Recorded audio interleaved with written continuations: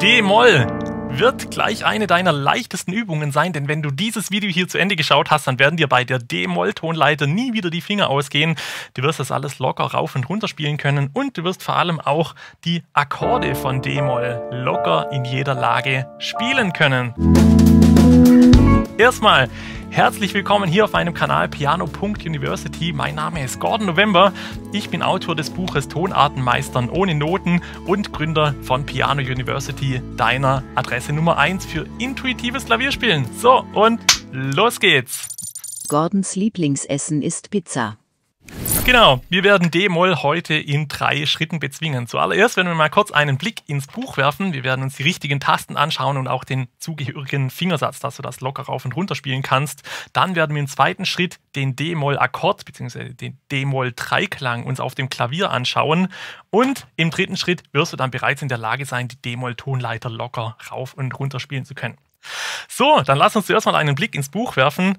Im Buch findest du eine Seite mit dem Quintenzirkel. Falls du den Quintenzirkel noch nie gesehen hast oder nicht weißt, was das ist, äh, hier unten habe ich ein Detailvideo für dich. Äh, ist im Moment nicht wichtig, kannst du aber nach dem Video, nach diesem Video hier anschauen. Da erkläre ich dir wirklich mal im Detail Musik theoretisch, wie das ist, aber trotzdem auch leicht verständlich, dass du es für immer verstanden hast. Im Moment reicht dir mal die Info, dass der Quintenzirkel ein Tool ist, mit dem du die Schwierigkeit einer Tonart einordnen kannst. Und insbesondere bei Notenspielerinnen und Notenspielern ist der Quintenzirkel hoch gefürchtet, denn ähm, ja, die, die einfachen Tonarten befinden sich oben, also C-Dur ist für die noch cool und weiter unten ähm, G-Dur möchte von denen keiner mehr spielen. Jetzt nicht unbedingt, weil Gestur eine besonders schwer zu spielende Tonart ist. Also wenn du hier schon ein bisschen auf dem Kanal warst, dann wirst du sehen, dass Gestur eigentlich ganz einfach zu spielen ist. Aber wenn du nach Noten spielst, dann findest du eben da zig Bs und Sonderzeichen hier in Gestur drin und dann haben die meisten schon keine Lust mehr, das zu spielen. So, aber Preisfrage. Wo befindet sich jetzt D-Moll? Genau. D-Moll befindet sich Puh, auch für Notenspieler ganz hier oben Richtung 12 Uhr. Also D-Moll ist per Definition eine recht einfach zu spielende Tonart. Warum ist das so? Du siehst hier, das ist ein bisschen ein spezieller Quintenzirkel, den ich designt habe für Piano University. Es ist nur eine schwarze Taste im Einsatz. Genau. Also normalerweise siehst du hier Kreuze und Bs im Quintenzirkel. Ich habe darauf verzichtet. Ich habe hier einfach die schwarzen Tasten eingezeichnet. Und dann siehst du, du hast eine schwarze Taste. Und falls du bereits F-Dur beherrschst, dann äh, kann ich dich auch beruhigen. D-Moll ist nämlich die parallele Molltonart von F-Dur. Und die teilen sich die identische schwarze Taste. Und welche schwarze sich diese beiden Tonarten teilen, das siehst du jetzt hier. Das ist nämlich das B. Hier oben siehst du es das B. Spielen wir mit dem dritten Finger. Ansonsten bist du hier auf den weißen Tasten unterwegs. Genau. Und deswegen können wir uns auch hier äh, mit dem normalen Fingersatz hier weiterhelfen, den du ja, für, für alle Tonarten normalerweise verwenden solltest. Ausnahme du würdest mit dem Daumen auf einer schwarzen Taste landen, dann muss man es ein bisschen umbauen. Aber hier siehst du, das ist der normale Fingersatz, den wir immer verwenden. Also wir starten mit dem ersten Finger, machen dann äh, weiter mit dem zweiten, dritten, untersetzen und spielen dann 1, 2, 3, 4, 5, bis uns dann die Finger ausgehen.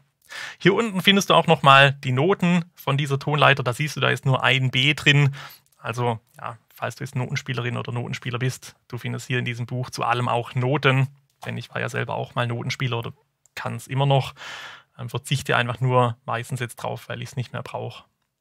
Ähm, genau. Dann haben wir hier den D-Moll-Dreiklang. Den spielen wir ganz easy mit dem ersten, dritten und fünften Finger. Schauen wir uns gleich nochmal im Detail auf dem Klavier an, Kein, keine Sorge. Dann in der ersten Umkehrung spielen wir das mit dem ersten, zweiten und fünften Finger. Das ist auch in jeder Tonart ähnlich. Und hier die zweite Umkehrung spielen wir mit dem ersten, dritten und fünften Finger. Jetzt wie immer kurz die Frage, um mich abzusichern, hey, hast du es bis hierher verstanden? Ich weiß, das war jetzt eine Menge Informationen auf einmal. Lass mich einfach hier kurz wissen. Schreib mir einen Kommentar hier runter, hey, hab irgendwas nicht verstanden oder schreib deine Frage rein. Dann kann ich dir in den Kommentaren weiterhelfen und vor allem merke ich dann auch so, okay, äh, wo kann ich in Zukunft Dinge besser erklären? Dann werden auch die Videos für dich hier auf dem Kanal immer besser. Also deswegen bin ich ein bisschen auf deine Hilfe angewiesen oder wenn du sagst, hey cool, ich habe alles verstanden, dann schreibe einfach hier, hab's verstanden oder hey, bin wieder hier, wir kennen uns schon. Falls wir uns noch nicht kennen, schreib mir doch gerne auch, wer du bist, was du machst, wie du so spielst und was so, wie ich dir so weiterhelfen kann auf dem Kanal. Also schreib mir das gerne hier äh, drunter, dann werden auch die Videos immer besser mit einem besseren Mehrwert für dich. Cool. Dann würde ich aber sagen, lass uns doch weitergehen zu Schritt 2, sobald du soweit bist. Gut, also wir schauen auf die Tastatur und wir spielen jetzt den Akkord. Der D-Moll-Dreiklang hat den Grundton, genau, D. Das war einfach. Und wir setzen jetzt die Terz darüber. Also eine Terz, das ist ein Dreitonabstand, also ein Intervall nennt man das, Terz, Tertiär, drei. Ähm, falls dich Intervalle im Detail interessieren, findest du hier unten auch nochmal ein Video, ähm, wo ich dir die Intervalle im Detail erkläre. Also das bringt dich auch äh, beim intuitiven Klavierspielen viel weiter und macht es auch wesentlich einfacher, wenn du Intervalle kennst. Aber für den Moment reicht dir das. Das hier ist eine Terz, Dreitonabstand und hier setzen wir die Quinte drüber, also einen Fünftonabstand. So.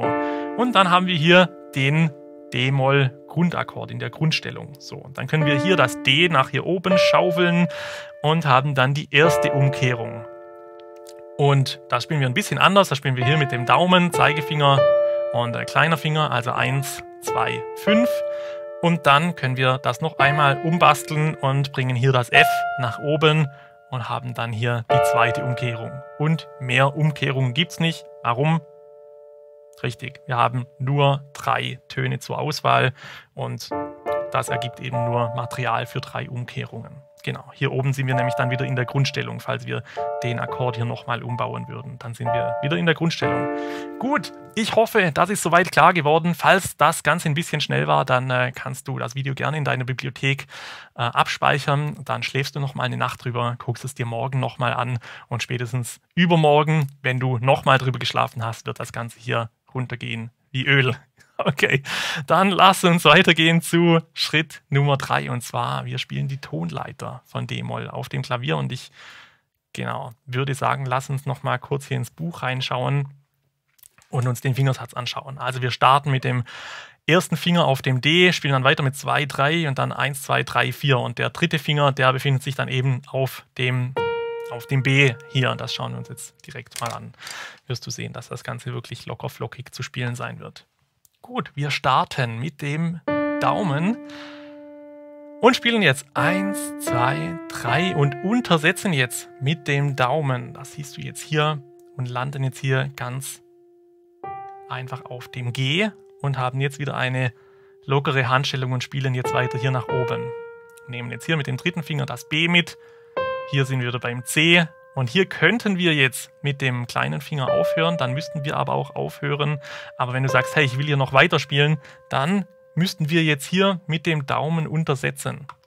Also wir gehen jetzt mit dem Daumen drunter und sind jetzt hier mit dem Daumen, das ist eine recht weite Streckung und sind jetzt hier auf dem D. So, genau. Und ja, die Kunst liegt jetzt einfach, dass du hier deine Sehnen gerade lässt. Also falls du es jetzt hier schon ein paar Mal gesehen hast, dann äh, wird dir das ähm, bekannt vorkommen. Also bitte hier keine Knicke irgendwie reinmachen oder so. Also es ist wichtig, dass du am Klavier immer die Sehnen gerade lässt. Das ist wirklich super wichtig. Also keine Verbiegungen so irgendwie machen und den Daumen so verrenken, weil dann gehen die Sehnen um die Ecke und das ist, wie wenn du ein Seil um die Ecke ziehst, irgendwann reißt das Seil. Bei den Sehnen ist es zum Glück nur eine Sehnenscheidentzündung, aber das ist trotzdem äh, ätzend genug. Also wirklich äh, vermeide das und bleib hier immer gerade. So, und den Trick, wie du immer gerade bleibst, den verrate ich dir jetzt. So, du, wir starten hier. So, und jetzt sollten wir untersetzen. Und was du jetzt machst, jetzt nimmst du den Ellbogen und du gehst mit dem Ellbogen raus und du siehst schon, wie sich hier unten jetzt die Hand ändert. Also wenn ich jetzt den Ellbogen hier reinmache, dann habe ich einen Knick hier in der Hand. Ellbogen rein, Knick in der Hand. Wenn ich aber hier mit dem Ellbogen rausgehe, so, dann siehst du, dass sich die Hand jetzt schon ergonomisch, also kannst du hier nochmal schauen, wie sich die Hand ergonomisch äh, für den Daumen in Richtung D bewegt. So. Und dann kannst du hier wirklich ganz einfach mit einem Millimeter eigentlich brauchst du gar nichts zu machen. Du lässt einfach den Daumen fallen und bist sofort auf dem D automatisch. Das geht nur, wenn du hier mit dem Ellbogen rausgehst. So, und wir spielen jetzt mal ein bisschen weiter. Und jetzt wirst du sehen, dass wir hier mit dem Ellbogen, dass das auch nichts mehr bringt, wenn der Ellbogen raus ist. Also, klar, es bringt immer noch mehr, wie wenn wir so machen. Aber du kannst mit dem Ellbogen jetzt nicht mehr weiter rausgehen. Das heißt, wenn du die Tastatur jetzt weiter nach oben bearbeitest, dann gehst du mit der Schulter mit. So, und bist mit dem Kopf immer ein bisschen über der Hand. So, und dann merkst du, der Ellbogen geht jetzt noch weiter und dann kannst du hier weiterspielen. Das siehst du auch bei Lang Lang und diesen ganzen klassischen Pianisten, die gehen hier so mit. Nicht, weil das irgendwie cool aussieht oder so, sondern die machen das einfach, weil es ergonomisch ist. Die beschützen die Muskeln hier drin. Weil wenn sie hier einmal was Falsches machen und sie hier um die Ecke spielen, dann fehlt ihnen die Kraft hinten raus im Stück. Dann fangen sie an zu eiern oder, oder was auch immer. Oder wenn sie ein ganzes Konzert spielen, dann haben sie einfach die Muskeln überansprucht. Das ist wie ein Marathonläufer, der am Anfang irgendwie einen Kilometer lang gehüpft ist oder so. Das macht auch keiner, sondern man, man spielt wirklich ergonomisch darauf und runter. Genau. Und wenn du jetzt von oben nach unten spielst, dann starten wir mit dem fünften Finger. Ellbogen bleibt draußen, fünfter Finger. Gehen jetzt hier mit dem Mittelfinger über den Daumen drüber und schieben jetzt einfach hier die Hand drüber. Ellbogen bleibt so und wir schieben die Hand drüber. Wir machen keine Gelenkbewegung oder sonst was. Das Handgelenk bleibt wie es ist. Wir schieben das rüber und landen hier drauf. Und jetzt hier schieben wir das Ganze noch weiter drüber. Jetzt müssen wir nämlich mit dem vierten Finger auf dem C landen. So, schieben das so drüber und landen jetzt hier optimalerweise da vorne irgendwo mit dem vierten Finger. Und das alles, was du jetzt noch machen musst, ist einfach die richtigen Töne zu spielen. Das klingt jetzt ein bisschen sarkastisch, aber das Hauptproblem äh, ist immer, die Finger eigentlich zu ordnen. Aber du wirst feststellen, die Finger zu ordnen ist kein Problem mehr. Du musst jetzt nur, nur noch wissen, okay, hier kommt das B, also gut, B bitte mitnehmen. Es geht dann weiter und das war's. Vierter Finger B mitnehmen, so, dann wirst du feststellen, das Ganze, jetzt kannst du drüber laufen wie so eine Katze, die übers Klavier täpselt. Das wird für dich kein Problem mehr sein. Gut, also, wenn das Ganze ein kleines bisschen zu schnell ging, ist äh, vollkommen klar, speichere dir das Video in deiner Bibliothek ab, komm morgen nochmal zurück, schlaf heute mal drüber, probier es morgen nochmal und dann, wenn du übermorgen zurückkommst und es nochmal anschaust, dann wirst du sehen, das Ganze, das wird wirklich richtig gut funktionieren. Wie immer der Hinweis, du wirst vermutlich trotzdem irgendwann feststellen, wenn du mal einen anderen Song in D-Moll spielen willst, dass es recht wenige Songs gibt, die aus der D-Moll-Tonleiter ausschließlich bestehen. Denn eine Melodie, die hat ja, besteht nicht aus einer Tonleiter, sondern eine Melodie macht ja irgendwie, also einfach was Schönes. Und sie besteht auch nicht nur aus dem Grundakkord, also nicht mal alle meine Entchen, würde in der traurigen Version äh, nur mit dem Grundakkord auskommen, sondern dann bräuchtest du hier noch irgendwie einen anderen Akkord mit dabei. Genau. Also, was ich damit sagen will, wenn du oder falls du in äh, D-Moll nach wie vor unsicher sein solltest und immer mal wieder daneben langst, wenn du einen Song in D-Moll spielst, dann ist das leider normal. Also mir ging das immer so früher. Äh, ich habe ja das nicht mal auf diese Art hier gelernt, sondern ich habe es wirklich über Noten gelernt und super ähm, kompliziert einfach. Und ich habe jahrelang immer noch in die falschen Töne reingelangt. Ich habe mich auf der Bühne blamiert, ich habe mich geschämt, ich wollte einfach in bestimmten Tonarten nicht spielen.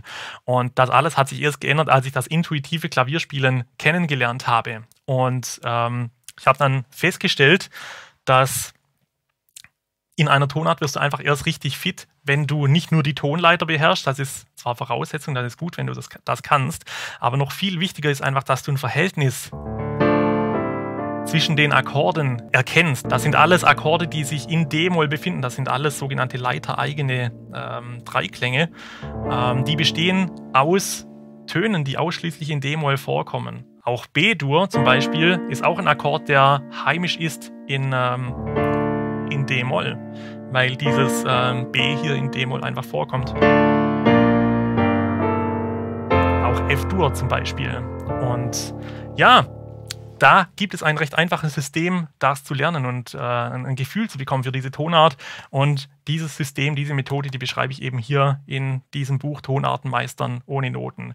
Ich hätte dir auch gerne das Buch von einem Kollegen äh, empfohlen, wenn denn jemand mal so ein Buch geschrieben hätte, aber ich war immer auf der Suche für meine Schülerinnen und Schüler äh, von Piano University und das gab es einfach nicht und darum habe ich das einfach jetzt selber gemacht. Es war ein bisschen Arbeit, ähm, aber ja, in diesem Buch findest du das alles illustriert und vor allem findest du aber auch ein Trainingsprogramm, wie du in diesen Tonarten fit wirst. Und ja, dieses Trainingsprogramm, das kommt mit einem begleitenden Videokurs. Also wenn du mich schon ein bisschen kennst, dann weißt du, mir ist es wichtig, dass du Sachen dauerhaft bei mir lernst. Also nicht wie mit Noten, dass du einmal was lernst und guckst du die Noten drei Wochen nicht mehr an, dann kannst du es wieder nicht mehr, sondern was du hier bei mir lernst, das lernst du für die Dauer. Also das was du hier lernst, das wird wie Fahrradfahren für dich.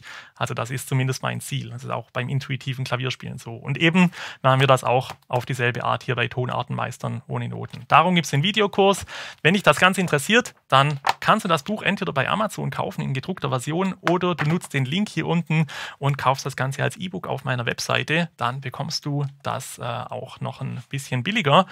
Und ja, alles, was du bei Piano University kaufst, das kriegst du sogar mit einem mehrwöchigen Rückgaberecht. Also selbst dieses E-Book, das habe ich auch so noch nie woanders gesehen, aber auch dieses E-Book, das bekommst du mit einem 30-tägigen Rückgaberecht. Denn ich will nicht, dass du hier was kaufst und dann feststellst, hey, hat mir doch nichts gebracht, ähm, komme ich nie wieder. Sondern wenn du hey sagst, hey, ich habe was gekauft, Gordon, und das war einfach, ähm, hat mir nicht geholfen, dann kriegst du auch dein Geld zurück. Genau. Also, in diesem Sinne, ich hoffe, dass ich dir hier ein kleines bisschen weiterhelfen konnte mit D-Moll.